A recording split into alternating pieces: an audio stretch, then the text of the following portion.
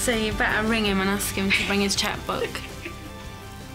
Kaylee's found um, the dress that she wants. The price of it all together is 1,564.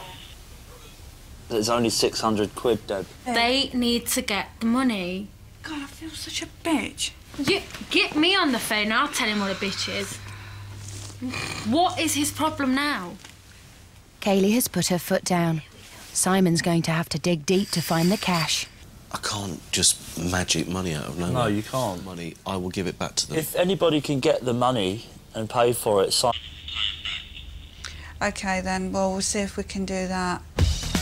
Even with 400 quid out of his pocket, and the same again from the budget, the girls still have to fork out the remaining £764 themselves.